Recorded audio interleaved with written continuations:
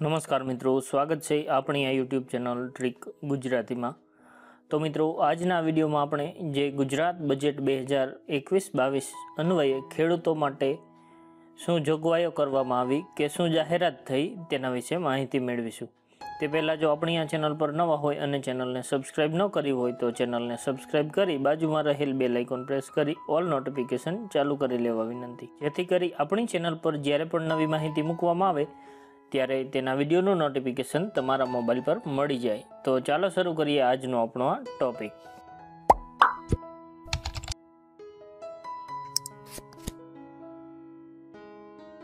તો મિત્રો, ગુજરાત બજેટ બે હજાર એકવીસ બાવીસ, તો જેમાં ખેડૂતો માટે શું મોટી જાહેરાત થઈ અને શું શું જોગવાઈ કરવામાં આવી, તે ઉપરાંત દસ હજાર પ્લસ છ હજાર એમ કુલ સોળ હજારની સહાય કોને મળશે તે ઉપરાંત આગળ જોઈએ તો એક ડ્રમ, બે ટોકર એટલે કે ટબ ફ્રીમાં આપવામાં આવનાર છે. તો તે કયા ખેડૂતોને મળશે અને શૂન્ય વ્યાજે એટલે કે ઝીરો ટકા વ્યાજે પાક ધિરાણ પણ આપવા અંગેની જાહેરાત કરવામાં આવી છે. તો તે અંગેની સંપૂર્ણ માહિતી જોવા માટે વિડીયોને છેલ્લે સુધી જોતા રહેજો, જેથી કરી અને આપને આ અંગેની સંપૂર્ણ માહિતી મળી જાય.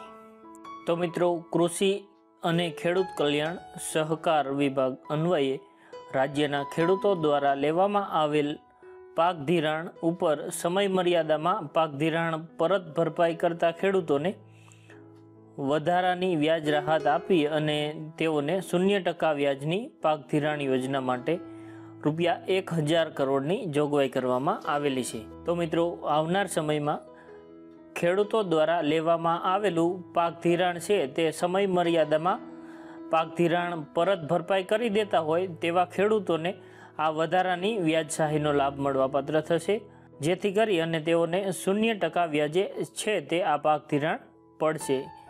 તો તેના માટેની આ યોજના અન્વયે રૂપિયા એક હજાર કરોડની જોગવાઈ કરવામાં આવેલી છે.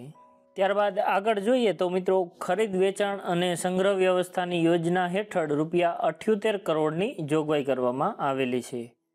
તેનાથી આગળ આપણે વાત કરીએ તો કામધેનુ યુનિવર્સિટી હસ્તક, જે સંશોધન અને શિક્ષણના કાર્યક્રમોને સઘન બનાવવા માટે થઈ અને રૂપિયા એકસો સાડત્રીસ કરોડની જોગવાઈ પણ કરવામાં આવેલી છે.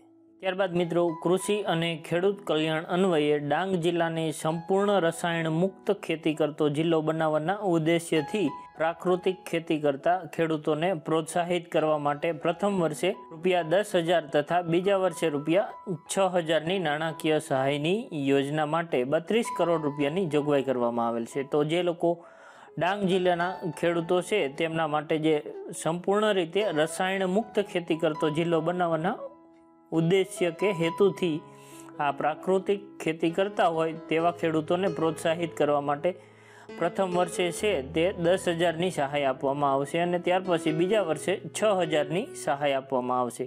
તો આમ દસ પ્લસ છ એમ કુલ સોળ હજારની નાણાકીય સહાય આપવાની આ યોજના માટે થઈ અને કુલ રૂપિયા બત્રીસ કરોડની જોગવાઈ કરવામાં આવેલી છે. આગળ વાત કરીએ તો ઓર્ગેનિક તેમજ પ્રાકૃતિક ખેતી આધારિત ફળો અને શાકભાજીઓના ઉત્પાદનનું સીધે સીધું વેચાણ રાજ્યના ખેડૂતો દ્વારા અમદાવાદ, વડોદરા, સુરત અને રાજકોટના શહેરી વિસ્તારમાં કરવા માટેની ઓર્ગેનિક એગ્રીકલ્ચર માર્કેટની યોજના માટે વીસ કરોડની જોગવાઈ કરવામાં આવેલી છે. તો મિત્રો, જે ઓર્ગેનિક તેમજ પ્રાકૃતિક ખેતીના આધારે જે ફળફળાદી અને શાકભાજીનું ઉત્પાદન થાય છે, તેનું સીધું વેચાણ અમદાવાદ, વડોદરા, સુરત અને રાજકોટ જેવા શહેરી વિસ્તારમાં કરવા માટે ઓર્ગેનિક એગ્રીકલ્ચર માર્કેટ બનાવવાની યોજના માટે થઈ અને વીસ કરોડની જોગવાઈ કરવામાં આવેલી છે.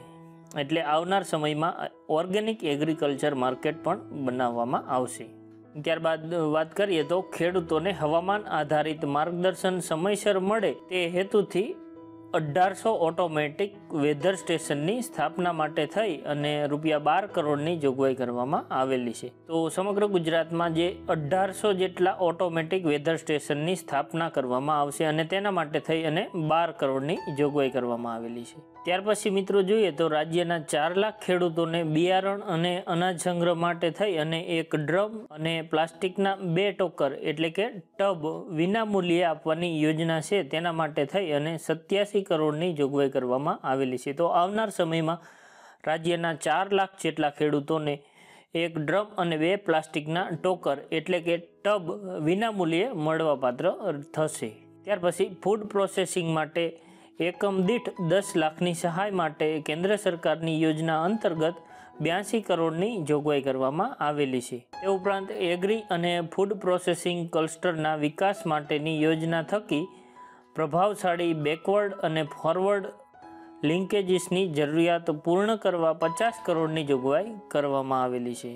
તે ઉપરાંત મિત્રો આપણે જોઈએ તો બિન ઉપજાઉ પડતર જમીનો પર લીલા પાક લહેરાશે અને તેના માટે મુખ્યમંત્રી બાગાયત વિકાસ મિશન શરૂ કરવામાં આવેલ છે. જે અન્વયે આઈ ખેડૂત પોર્ટલ ઉપર ઓનલાઈન અરજી કરવાનું ચાલુ છે. તેના વિશેની માહિતી મેળવવા માંગતા હોય તો ઉપર આઈ બટન પર વિડીયોની લિંક આપેલી છે. ત્યાંથી તમે તેની વધુ માહિતી મેળવી શકો છો. તો આ મુખ્યમંત્રી બાગાયત વિકાસ મિશન અન્વયે આ મિશન હેઠળ પ્રથમ તબક્કે કચ્છ, સુરેન્દ્રનગર, પાટણ, સાબરકાંઠા અને બનાસકાંઠા જિલ્લાની પચાસ હજાર એકર ખરાબાની બિન ઉપજાઉ જમીન આધુનિક ટેકનોલોજીથી ઉપજાઉ બનાવાશે અને પ્રગતિશીલ ખેડૂતો, સક્ષમ વ્યક્તિઓ, સંસ્થાઓ, કંપનીઓ અથવા તો ભાગીદારી પેઢીને ભાડાપટ્ટે જમીન અપાશે, જે બે લાખ મેટ્રિક ટન બાગાયતી પાકોનું ઉત્પાદન અને પ્રોસેસિંગની તકો ઊભી થશે. તો આ માટેની એપ્લિકેશન કરવાનું હાલમાં ચાલુ છે અને આ કાર્યને લીધે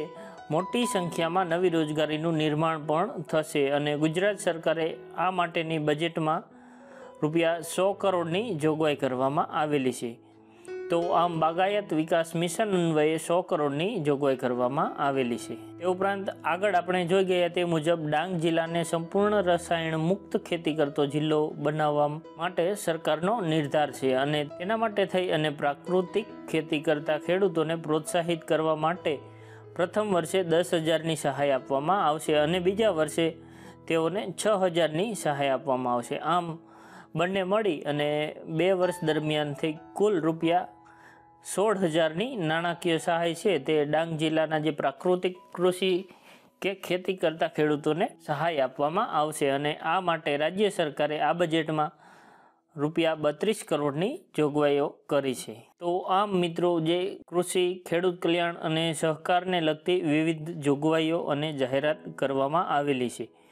તો જો તમને મારો આ વીડિયો પસંદ આવ્યો હોય તો લાઇક કરજો, મિત્રો સાથે શેર કરજો, જરૂર જણાય તો કોમેન્ટ કરજો. અને હા, આપણી આ ચેનલને સબસ્ક્રાઈબ કરવાનું ભૂલશો નહીં. ફરી મળીશું નવા વીડિયો સાથે. ત્યાં સુધી રજા લઉં. જય હિન્દ. વંદે માતરમ.